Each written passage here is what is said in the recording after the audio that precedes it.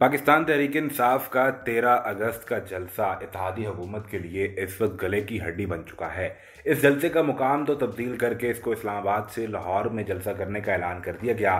तो लाहौर में वफाकी हुकूमत की जानब से अता तारड़ के ज़रिए इस जलसे को रोकने के लिए अदालत में एक दरख्वास्त दायर कर दी गई। पी टी आई के इस जलसे के हवाले से इतिहादी हुकूमत के अंदर परेशानी पाई जाती है। आखिर इसकी वजह क्या है? क्यों इतिहादी हुकूमत पी टी आई के लाहौर के तेरह अगस्त के जलसे से पहले ही परेशान हुई बैठी है। अतातारट समेत दीगर की जलसा रोकने की दरखास्तें अदालत में गई तो यहाँ से पी टी आई के हवाले से और इस जलसे के हवाले से एक बड़ा फैसला आ गया।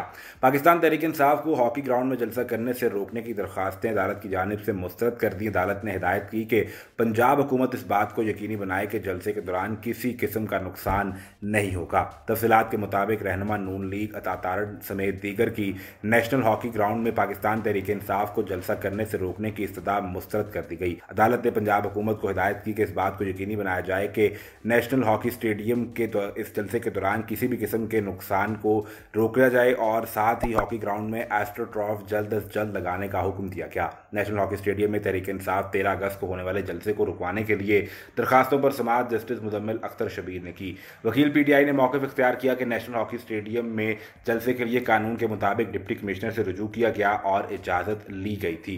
जिस पर जस्टिस साहब के सफसार पर मीनार पाकिस्तान में जलसा ना करने की वजह पर पंजाब हुकूमत के वकील ने कहा कि मीनार पाकिस्तान जलसा करने पर पाबंदी है, जबकि नेशनल हॉकी स्टेडियम सिक्योरिटी के हवाले से बेहतर मुकाम है, जिससे जलसे से एक दिन पहले दरखास्त गुजारों को कौन सा हक मुतासर होता दिखाई दे रहा है। वकील दरखास्त गुजार ने कहा कि स्पोर्ट्स बोर्ड के आइन के मुताबिक हॉकी ग्राउंड में शादी फ़ंक्शन या सियासी जलसे नहीं किए जा सकते।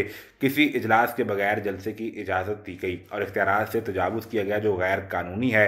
ये ग्राउंड हमारा कौमी असासा है, इसको जलसों के लिए इस्तेमाल नहीं किया जाना चाहिए। इस पर पंजाब हुकूमत का मौकफ है कि ऑस्ट्रो ट्रॉफ के लिए टेंडर दे दिया है। जब तक टेंडर मंजूर नहीं होगा, प्रोक्योरमेंट नहीं की जा सकती और खिलाड़ी प्रैक्टिस भी नहीं कर सकते। जिस पर जस्टिस मुजम्मिल ने कहा कि माल रोड भी असासा है, यहाँ पर भी जलसे होते हैं। अलबत् यहाँ पर फौरी तौर पर ऑस्ट्रोट्रॉफ लगाने के अमल को पूरा किया जाए और अतादारड़ की इस दरख्वास्त को मुस्तरद कर दिया गया है।